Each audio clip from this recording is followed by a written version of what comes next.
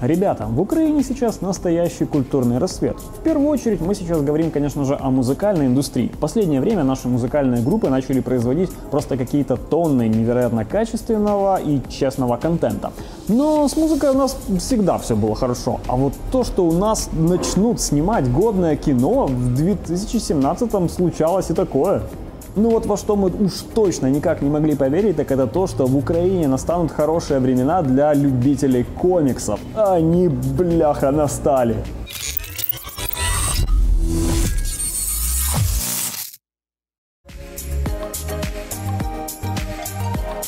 Сага про солнценосцев – это, на удивление, никак не воспевание украинских героев. Авторы восторгаются прежде всего скандинавской мифологией и несломным характером именно северян. Местных персонажей здесь хлебом не корми, а только дай побыстрее пасть смертью храбрых да попасть в Альгалу. И на протяжении всех 32 страниц вас будет сопровождать атмосфера жизни настоящего воина. Пьем как в последний раз, занимаемся любовью как в последний раз и сражаемся тоже, ну вы поняли. У комикса очень крутая рисовка и вообще хотелось бы увидеть данное произведение в твердом варианте и с другой обложкой, потому что, как нам кажется, авторы выбрали самую неудачную, хотя у них их на самом деле полно. Но мы немного отвлеклись. Особенно хорошо художнику удаются всевозможные погодные эффекты. Да и вообще все. Очень удачно подобраны цвета в целом, мимика персонажей. Кстати, комикс несет кое-что и в разговоре о культуре Украины, потому что здесь очень живой и насыщенный украинский язык. Так что если хотите немного подкачать мову, рекомендуем чем у саги есть проблемки, так это с общей концепцией. Глобально все, что здесь описывается, мы уже видели в сотнях других произведений. Вас не удивят, но парочку эстетических экстазов точно получите. Следующий комикс стоит абсолютным особняком не только в контексте разговора о украинских комиксах, но нам кажется, что чего-то подобного нет и в мировой практике. «Герой по неволе» — это адаптация одноименной повести Ивана Франка, изданной в далеком 1904 году. То есть слова из оригинального произведения наложены на черно-белую, сдержанную, но современную и чертовски стильную картинку. На самом деле, в те времена даже язык был немного другим, поэтому авторам практически на каждой странице приходится делать сноски. Но все это наоборот придает комиксу абсолютной уникальности. Рисовка в героя очень прилежная. Художник явно поставил себе за цель никуда не спешить, а детально отрисовать последнюю мышь, непонятно где пробегающую на десятом плане. В комиксе часто можно встретить оригинальное разделение планов, а также необычные ходы. Как вам, например, вот такая раскадровка, в которой автор выводит на передний план персонажа, а на задний то, что о нем думает главный герой. А вот вам уже оригинальный эффектик с резким движением в пространстве. Комикс хочется перечитывать и пересматривать, подмечать новые детали. Итак, Львов 1848 года. Времена, кстати, тогда смутные были. Австрийцы, поляки вечные добродушные соседи в лице Российской империи все имели свои претензии на наши земли. Зрела революция. А главному герою, который привык к своему довольно неспешному укладу жизни, как-то сложно разобраться во всех этих перипетиях и кому тут вообще примыкать, за кого проливать кровь и нужно ли ему это все вообще. Ему бы где-нибудь пересидеть, но жизнь иногда преподносит сюрпризы, так что придется ему стать во главе этой революции а больше мы вам ничего не скажем.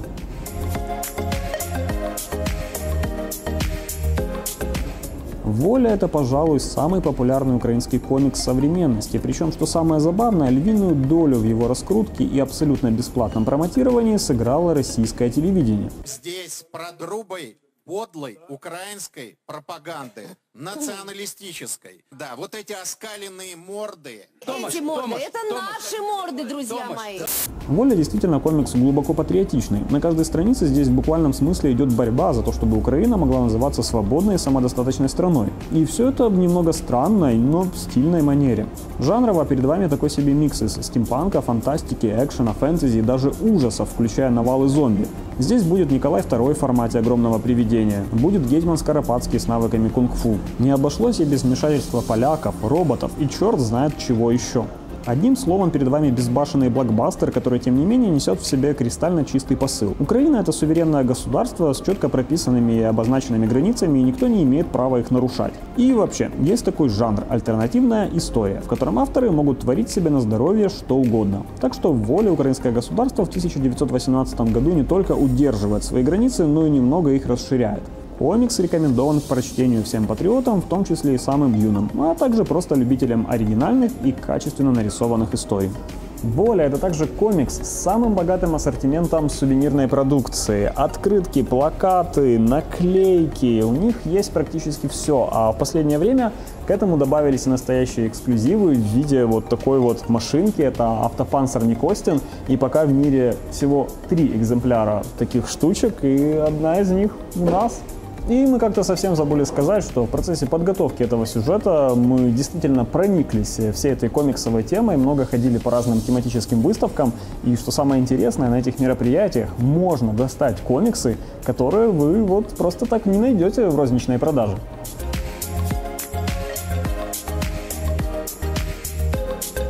«Агенты Климат» — абсолютно уникальный комикс, поскольку он создан в партнерстве с целым ворохом организаций, которые отстаивают, в общем, то, что они отстаивают, так это право нашей планеты на жизнь.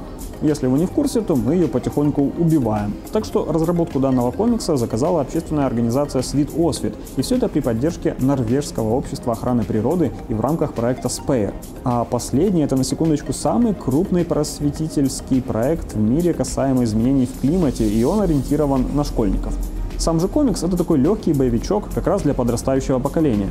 Двое студентов оказываются на АЭС во время процедуры ее закрытия, и именно в этот момент там начинают происходить какие-то чудные события, в том числе и с участием инопланетян комиксе всего 14 страниц, так что давайте не считать это за спойлер. И давайте сильно не зацикливаться на рисовке. У произведения, как вы понимаете, немного другие цели. И вот как раз тут у нас есть вопросы. К сожалению, в комиксе не говорится о том, что именно мы делаем с планетой. Как сделать так, чтобы ей стало хоть немного лучше. Не приводится никакая статистика.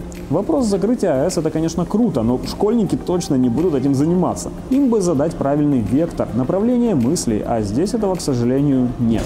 Да, кстати, вы уже обратили внимание, что некоторые из наших комиксов подписаны самими авторами.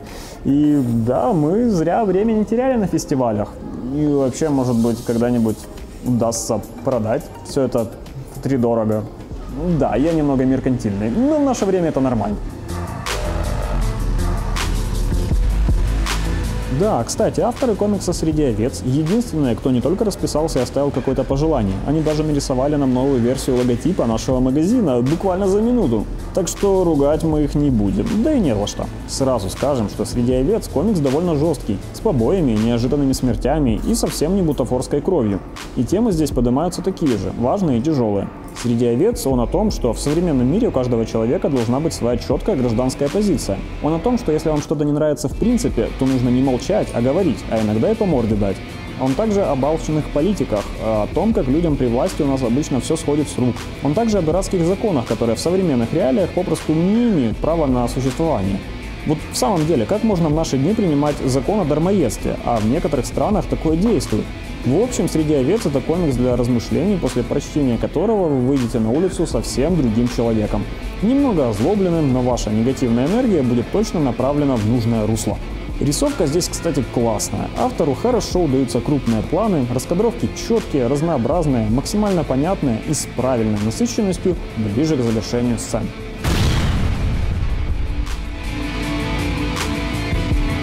Мор — единственный комикс в нашем топе, которого на момент выхода сюжета еще не будет в продаже. Перед вами графическая новелла в жанре ужасов с социальным и психологическим подтекстом.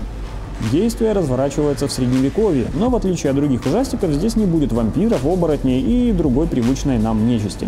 Зато будет очень много мистики в целом. Главный герой, крестоносец Стивадар, попадает в город, в который можно въехать, а вот с выездом не все так просто. Невидимые стены не выпускают никого. Что стало причиной, а главное, сможет ли главный герой выбраться из этой передряги. Оформляйте предзаказ, комикс выходит под конец года. Кстати, все люди, выполнившие все действия, принимают участие в розыгрыше вот такой уникальной обложки от автора. Нам кажется, с ее помощью можно будет самостоятельно выполнять ритуалы по призыву и изгнанию демонов. Подробности в описании под видео.